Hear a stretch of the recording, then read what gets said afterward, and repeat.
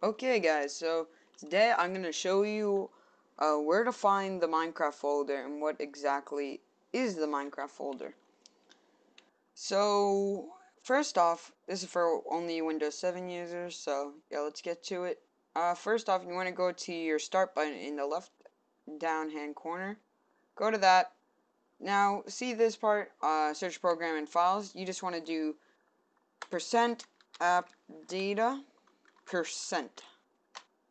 And then, yeah, this is your roaming folder. Uh, yeah. Now you'll see it says mine dot Minecraft right here. You want to press on that. Next, this is your Minecraft folder basically. So, yeah, these are your servers, uh, options, your launcher profiles, whatever data this is your version so this is like your yeah your snapshots and your current version.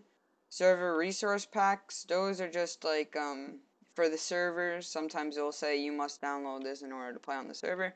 Screenshots are obvious the things that you just you know click on f f2 and then it will go to there so that's how you find your screenshots. Your saves this is probably like one of the most important folders. This is all your worlds Next up is your resource packs. These are your texture packs basically that can have sounds to them, special sounds.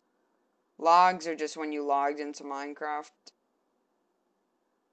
Libraries are just, you know, pretty much randoms. Crash reports is every time your client crashes. And this is just, you know, your, um, kind of like your bin folder, I would say, but not really. But yeah, that's basically it. Um, this is your Minecraft folder. It's pretty simple. So yeah, guys, thanks for watching. Hope you enjoyed the video. See ya.